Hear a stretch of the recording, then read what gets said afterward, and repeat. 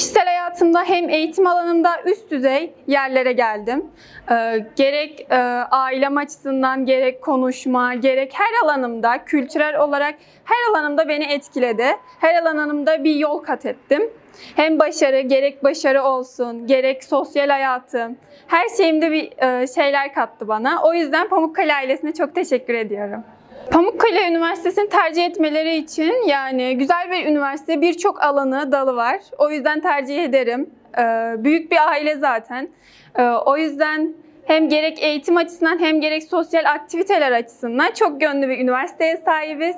Ee, bu yüzden tercih etmeleri hem onların eğitim hayatında hem kültürel hem sosyal hayatlarında çok iyi şeylere katkı sağlayacağını düşünüyorum. Dereceye girmem yani ilkokuldan beri başlayan bir süreçti bu zaten benim için.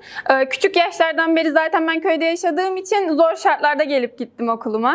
Özellikle dedem ben köyde yaşadığım için ilçeye gelip geliyordum. O sıralarda e, erken saatlere kalkıp bana çok destek olduğu için ona buradan çok e, minnettarlarımı sunuyorum.